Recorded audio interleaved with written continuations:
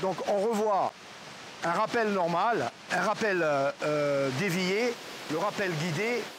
13e jour de formation pour ces stagiaires.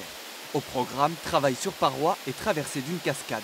Le canyoning exige une technique impeccable et une attention extrême sur la sécurité. L'objectif de la formation, pratiquer bien sûr et anticiper les risques. Là, je viens de faire un rappel guidé par, euh, par une tyrolienne en fait. C'était pour éviter la cascade, pour pas se mettre euh, directement dans l'eau, parce qu'il y, a quand même un gros débit là. Les 12 guides en formation connaissent déjà bien les reliefs corses. Pour la plupart, ce sont des professionnels de la montagne qui souhaitent aller plus loin. Depuis 2004, je vis de la montagne à pied, en raquette l'hiver et en VTT.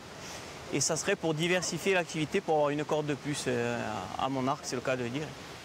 700 euros, c'est ce que déboursent les participants pour 210 heures de formation. La collectivité de Corse, via sa nouvelle filière montagne, engage, elle, 25 000 euros, une somme qui permet de mettre en place ce dispositif pour la première fois sur l'île. Selon ce guide, il était temps.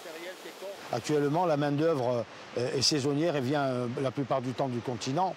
Et donc, euh, il faut euh, impérativement inverser la vapeur parce que ça, ça ne va plus. Il n'y a pas que la, la, partie technique du canyon, il y a tout ce qui va avec, culturellement, notre histoire, notre langue. Et donc, il faut impérativement qu'on ait des gens de chez nous. En juillet prochain, direction l'Ardèche pour tout le groupe. C'est là-bas qu'aura lieu l'examen du diplôme d'état de canyoning. 300 candidats, seulement 24 retenus.